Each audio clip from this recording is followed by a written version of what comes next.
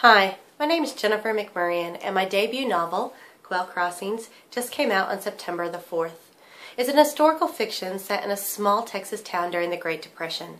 Debbie Grant has just lost her child and her husband in a car accident, and she has to live with her father on their farm, Quail Crossings.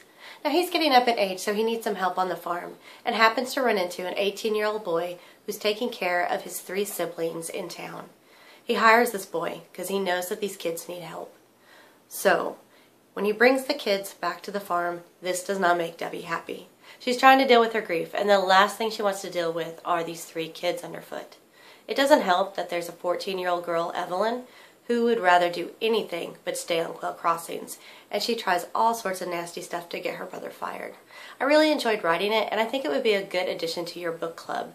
So, if you decide to use Quail Crossings for your book club, I would be honored to Skype into the meeting with you.